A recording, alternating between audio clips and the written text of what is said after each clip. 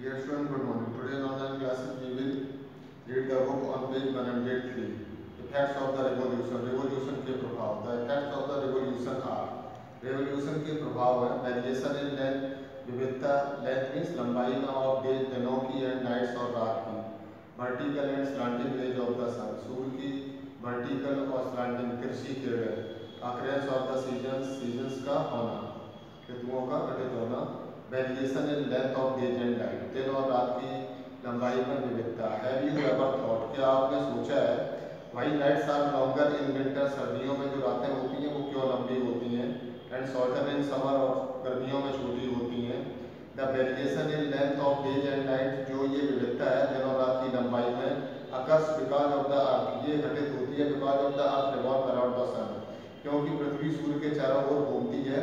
With its axis इसकी दूरी पर ऑलवेज इंक्लाइन 66 फुल नंबर 1.2 डिग्री हमेशा यह झुकी रहती है north pole and south pole have 6 month long day and 6 month long night जो नॉर्थ पोल और साउथ पोल है, उनमें 6 महीने लंबा दिन होता है 6 महीने लंबी रात होती है नाइट्स है द इक्वेटर है इक्वल डेज़ एंड नाइट और इक्वेटर पर इक्वल दिन और रात होते हैं अवे फ्रॉम द इक्वेटर से दूर द डेज़ आर लॉन्गर दिन लंबे होते हैं इन समर गर्मियों में and nights are longer in winter और सर्दियों में रातें लंबी होती हैं। At the poles the variation is minimum और पोल्स पर ध्रुवों पर जो ये वेरिएशन है, वह अधिकतम होती है। There is continuous day day light और लगातार डे लाइट होती है फॉर सिक्स मंथ छः महीनों के लिए। During summer and continuous darkness for six month और लगातार छः महीने डार्कनेस रहता है, अंधेरा रहता है।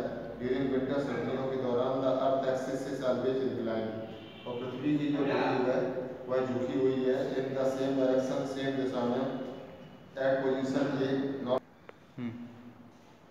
the north pole is towards the sun जो नॉर्थ पोल है वह सूर्य की ओर झुका हुआ है।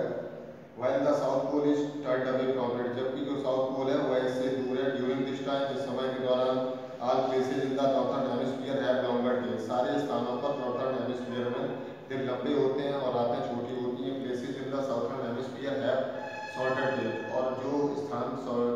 साउथर्न हेमिस्फीयर में वहाँ दिन छोटे होते हैं एंड लॉन्गर नाइट्स और रातें बड़ी होती हैं।